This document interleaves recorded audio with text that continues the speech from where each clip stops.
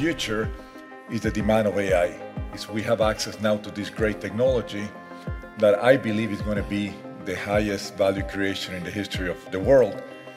However, you need companies to be able to deploy it.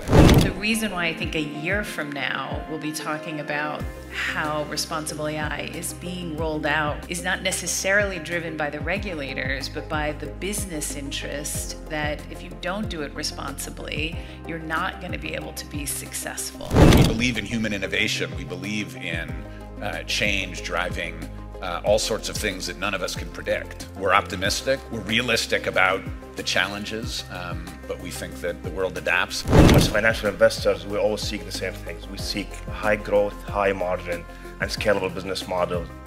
We seek exceptional founders, and also we seek to invest with amazing investors. We have productivity tools uh, for the entire infrastructure that we also can lend to the portfolio companies to, to work with their, their customers to Dan's point, we're seeing massive productivity already. Um, in terms of uh, individual developer productivity, 35% today across the board. We see things like customer intervention, 37% deflection rate. So that means you need fewer people to handle the same number of cases. Together, we have to teach our models that the values we have as societies are to cooperate and to respect each other's cultures. If we do that, then I believe we get to a startup future.